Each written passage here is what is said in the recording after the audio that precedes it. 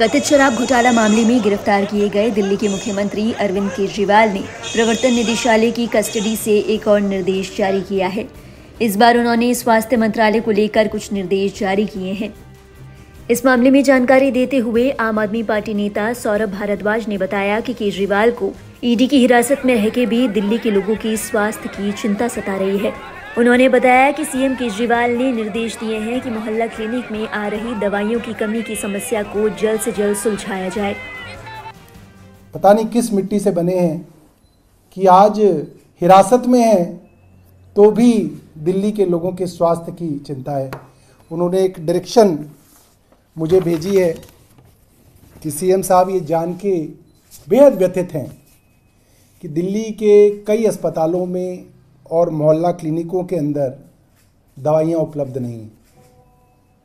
कुछ अस्पतालों में मोहल्ला क्लिनिकों के अंदर जो मुफ़्त टेस्ट होते हैं, जो मुफ़्त ब्लड टेस्ट होते हैं और सैंपल्स होते हैं, वो उपलब्ध नहीं हैं। केजरीवाल की ओर से ये निर्देश ऐसे समय पर जारी किया गया है जब ईडी की हिरासत से उनके पहले आदेश पर विवाद खड़ा हो गया है। भाजपा की शिकायत के बाद ईडी ने जाँच की बात भी कही है।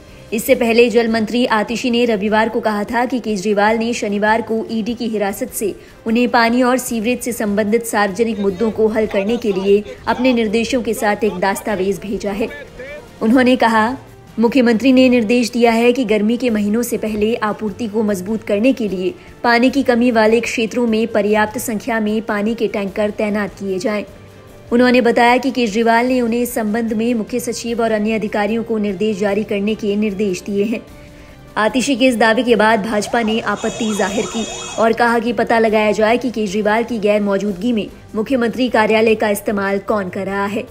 सूत्रों की माने तो ईडी इस बात की जाँच करने जा रही है कि मुख्यमंत्री के ये निर्देश पीएलएमए की विशेष अदालत के उस आदेश के अनुरूप हैं जो ईडी और केजरीवाल को उनकी हिरासत अवधि के दौरान जारी किया गया था।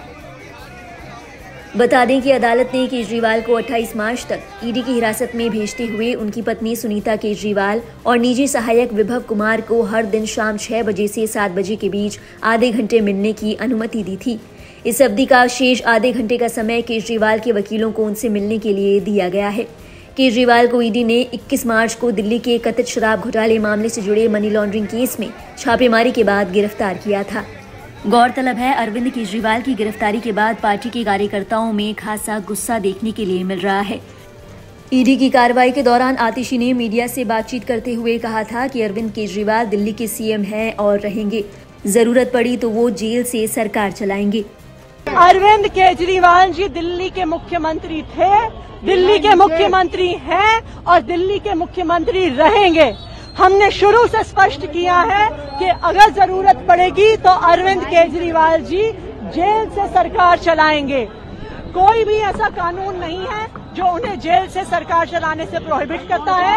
उनका कोई कन्विक्शन नहीं हुआ है। उनको उनका कोई कन्विक्शन नहीं हुआ है।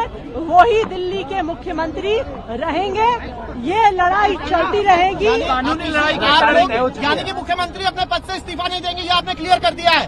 अरविंद केजरीवाल जी दिल्ली के मुख्यमंत्री हैं और दिल्ली के मुख्यमंत्री रहेंगे। ये बिल्कुल साफ़ है और ये बिल्कुल स्पष्ट है, इस पर कोई दो राय नहीं है।